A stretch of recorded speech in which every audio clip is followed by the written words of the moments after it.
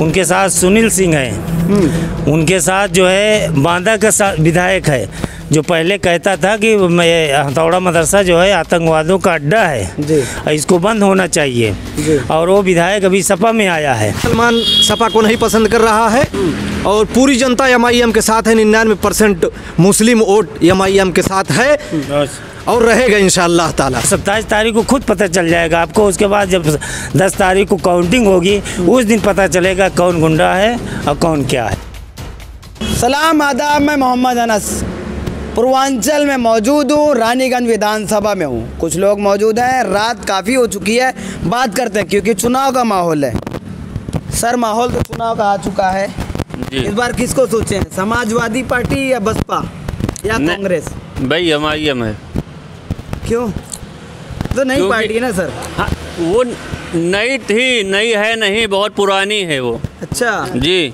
उत्तर प्रदेश के लिए नहीं है ना सर? भाई दूसरी बार आई है वो उत्तर प्रदेश में। तो क्या लग रहा है फिर दूसरी बार आई है तो? उस बार हमारा संगठन था नहीं। हम्म। उत्तर प्रदेश के अंदर इस बार संगठन एम आई एम को जोरों से है। हम्म। कांग्रेस और बीएसपी भी भाग गई उसके आगे। हाँ। अच्छा इस बार लोग कह रहे हैं बीजेपी और सपा से लड़ाई है बस खाली। एम आई एम टक्कर में नहीं है। बीजेपी और एम आई एम की टक्कर है। सपा ऊपर सब सब भाग गई धुल के बाहर हो गई है। अच्छा टक्कर हाँ, उनसे है। बिल्कुल। बीजेपी से। बिल्कुल सौ फ़ीसद है। आपकी टीम है वो तो? कौन सी? आप बी है वो ए टीम है। ए बी टीम खत्म हो गया ए टू जेड हो गया अभी। अच्छा। हाँ ये भी टीम वो सब खत्म हो गया। तो मुद्दे क्या है सर? हा? क्या मुद्दे पे चुनाव लड़ा जाएगा यहाँ पर? आप भाई- रानीगंज विधानसभा में।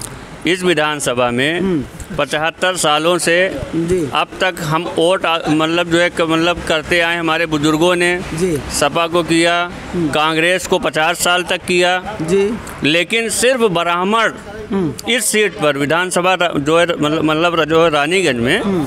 सिर्फ़ एक ब्राह्मण ही अपना जो है फेस लेकर आते हैं और वो वोट ले लेते हैं उसके बाद न विकास हुआ है। न कोई और काम दलित और मुस्लिम के इलाके में बिल्कुल नहीं हुआ है विकास के नाम पे। अच्छा सर ए, बता रहे हैं एक लाख दस हज़ार के करीब मुसलमान हैं यहाँ। अस्सी हज़ार दलित है। जी।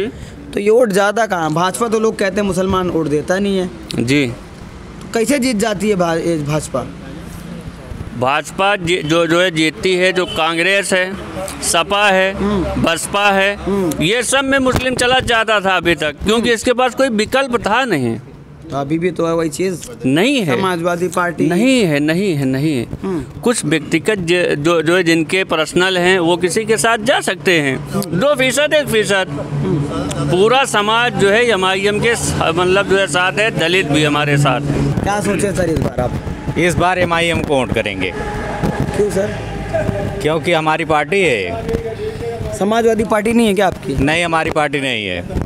तो मुसलमानों की पार्टी कहा जाती है ना वो तो? अरे मुसलमानी पार्टी है। वो गुंडों की पार्टी है। ये क्या अपनी कह रहे हैं आप? उनके साथ गुंडे और माफिया हैं। कौन है गुंडा माफिया? सपा में। तो आपके है ना? साथ भी तो है अतीक अहमद। हमारे साथ में अतीक अहमद कहाँ है? गुंडे नहीं है क्या? नहीं है वो गुंडे। कौन कहता है वो गुंडे? अतीक अहमद आए तो आपके साथ। गुंडे नहीं है क्या वो? नहीं बिल्कुल गुंडे नहीं है। फिर? आपके साथ आके धुल गए? नहीं ऐसा नहीं है। वो जी। पहले से धुले हुए थे हम्म। इसलिए सपा में थे। और मुसलमान तो इनकी निगाह में सब गुंडे हैं। चाहे सपा सरकार हो चाहे बसपा सरकार हो इनकी सरकार में मुसलमान जो भी हैं वो सब गुंडे हैं और सब गुंडे नज़र आते हैं। ऐसा कुछ भी नहीं है। तो समाजवादी के साथ मुसलमान क्यों नहीं जा रहे इस बार? यहाँ इसलिए नहीं जा रहा है कि अखिलेश ने मुसलमानों को बिल्कुल इग्नोर कर दिया है। समाजवादी के साथ उनके साथ सुनील सिंह हैं। उनके साथ जो है बांदा का विधायक है जो पहले कहता था कि मैं हथौड़ा मदरसा जो है आतंकवादियों का अड्डा है जी। इसको बंद होना चाहिए। और वो विधायक अभी सपा में आया है। हम्म, और इसी तरीके से आपके विश्वनाथगंज का विधायक जो रानीगंज से लड़ रहे हैं ये भी कहते थे कि मुसलमान जिस कोख से पैदा होता है उस कोख को मैं उजाड़ दूँगा। ये आर के वर्मा का बयान है। आर के वर्मा के बयान है इसलिए वो भी एक गुंडे हैं। हाँ। तो मुसलमान कह रहे हैं वो अपना दल में थे इसकी वजह से कहा करते थे इधर आके धुल गए वॉशिंग मशीन में। कौन? आर के वर्मा समाजवादी में आके। नहीं धुल नहीं गए। अभी विश्वनाथगंज में कई कांड हुआ है। इनके दौर में इकतदार दौर में महुआ बन में पंद्रह घर फुकवाया गया। उसके बाद तौफीक का इनकाउंटर हुआ यही विधायक थे। इश्तियाक अहमद के पैर में लपेट कर बोरा गोली मारी गई यही विधायक थे। और कम से कम सवा सौ लोगों को मुस्लिम लड़कों को जो है इन्होंने पुलिस पुलिस इनकाउंटर में जो है पैर में गोली मरवाई है। और बेचारे जेल में उनका पैर सड़ रहा है कोई पूछने वाला नहीं है। ये गुंडे हैं। तो आपको ये सब सारी चीज़ें पता है और मुसलमानों को कैसे नहीं पता है? नहीं सबको पता है। वो सत्ताईस तारीख को खुद पता चल जाएगा आपको। उसके बाद जब दस तारीख को काउंटिंग होगी उस दिन पता चलेगा कौन गुंडा है और कौन क्या है। बीजेपी क्या गड़बड़ी की है? चलिए ठीक है आर के वर्मा का बता दिया बीजेपी धीरज ओझा ने क्या गड़बड़ी की है? कहाँ गड़बड़ी की? वो तो ठीक है। हाँ तो उनको कहीं नहीं दे रहे हो? हाँ? उनको क्यों नहीं दे रहे हो हमारी पार्टी है एम आई एम है उसको देंगे। हम्म, हाँ? वोट नहीं कट जाएगा कौन काटेगा? एम आई एम काटेगा थोड़ी? हमारी पार्टी मज़बूत हो रही है। मज़बूत हो रही है। हाँ, तो? आपके निकाल लेंगे? हाँ इंशाल्लाह ज़रूर निकाल लेंगे। जीत रही है। हाँ तो? और लोग मौजूद हैं। सर क्या नाम है आपका? हमारा नाम फैज पहलवान है। और इसीलिए जो है हम सपा को छोड़ करके एम आई एम ज्वाइन कर लिए हैं। मुसलमान कहती हो तो की पार्टी है। आप कैसे इल्ज़ाम लगा देखिए इल्ज़ाम लगाने वाली बात नहीं है जो जैसा है वैसे कहा जाएगा। के साथ मैंने बहुत कुर्बानी दिया पोलिंग एजेंट रहा बूथ पे मार किया एक मुकदमा उसके भी लिया। सलमान सपा को नहीं पसंद कर रहा है और पूरी जनता एम आई एम के साथ है निन्यानवे percent Muslim vote M I M के साथ है और रहेगा इन ताला। तो एक परसेंट कौन जुम्मन है क्या? जी। एक परसेंट जुम्मन है क्या? गुमराह हैं जो जिनके जो है दिमाग नहीं अल्लाह ताला दिए हैं वही जो है एक परसेंट जा रहे हैं इधर उधर जी। अच्छा। तो क्या आपको यहाँ लगा है आके कि आपको कैसे लगा कि ये बेहतरीन पार्टी है? यहाँ आना चाहिए।